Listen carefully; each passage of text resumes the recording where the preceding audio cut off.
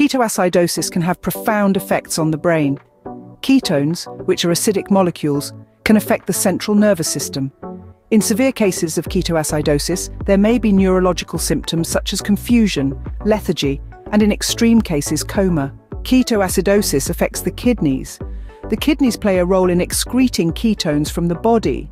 In ketoacidosis, the kidneys may work to eliminate excess ketones, leading to increased urination and dehydration. However, severe dehydration can compromise kidney function.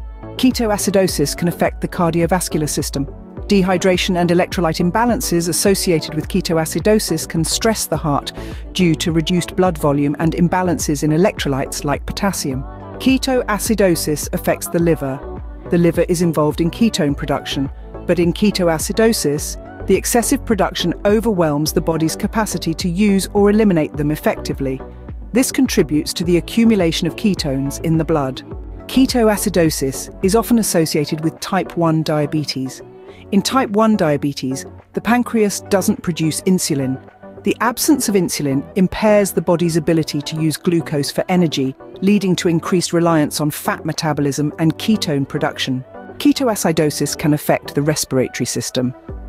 The respiratory system may respond to metabolic acidosis by attempting to eliminate excess acids through increased breathing. This can lead to a condition known as Kussmaul breathing, characterized by deep, rapid breathing. Ketoacidosis affects the gastrointestinal system. Nausea, vomiting, and abdominal pain are common symptoms of ketoacidosis, affecting the digestive system.